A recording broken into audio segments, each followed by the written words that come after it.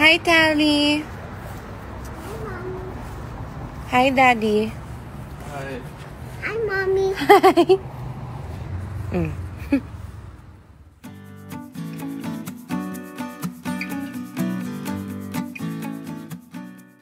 Have a wonderful day, beautiful people, and welcome to Celebrity Home.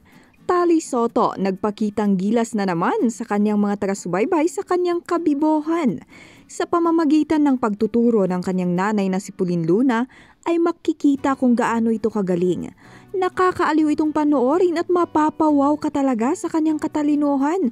Sa video ay magaling niyang tinatranslate ang Filipino words sa English. Kaya naman proud na proud sa kanya alagi ang kanyang daddy Vic Soto at nanay na si Pulin Luna. Atin na pong panoorin ang kabuuan ng video pero bago yan, sa mga bago po sa ating channel, maaari po kayong mag-subscribe para sa iba pa nating celebrity updates. What does the book say? This one.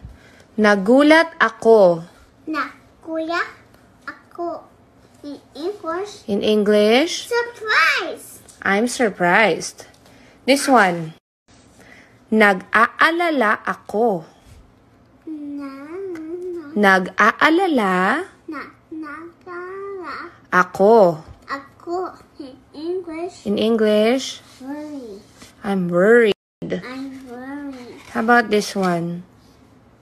In English, This one. Galit ako. galit ako. In English, I'm angry. I'm angry. Can I see angry face? Mm. How about this one? Natatakot ako. In English, nata, Natatakot? nata, ako. Natatakot? Ako. In English, In English, I'm scared. I'm scared. Oh, what else? How about this one? Masaya ako. In English, Say masaya ako first. masaya ako. Very good. In English, Mm. happy. I'm happy. How about this one? Malungkot ako. Ma, no, Malungkot? manu, ako. Malungkot ako. Manu, go. How about D? Where's letter num, letter D? D for hmm. this one. No, look down. Down. The There it is.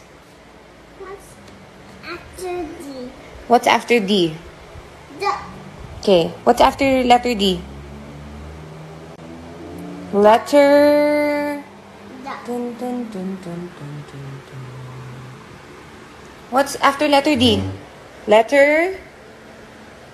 D. And then what's next? Hmm. Is for A. That's right. Oh, put it. Put it on the puzzle. Are you eating the egg? Wait, wait, wait. Next is I like to swim. wait. I, I like to run. Good. I like, Wait. That's hard. I like to sit. Good. I like to stand. Good. I, I like to eat. Very good. Bravo. Hi, Tally. Hi, Daddy. Hi. 妈咪。嗯。